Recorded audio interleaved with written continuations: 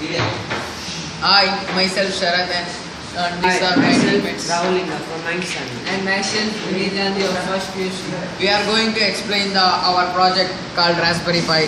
From this project, we are have done the door automatic door opening and closing system. This is Raspberry Pi board and four Ethernet, four uh, portable cables, one Ethernet cable and HDMI.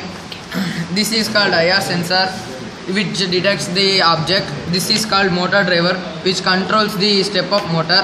Uh, this is called step-up motor. When the objects come uh, in front of the IR sensor, it detects the uh, objects and send the code to the send code to the Raspberry Pi board, and then uh, Raspberry Pi board uh, send code to the motor driver, which controls step- step-up motor, and then uh, step-up motor will works. Step-up motor will works.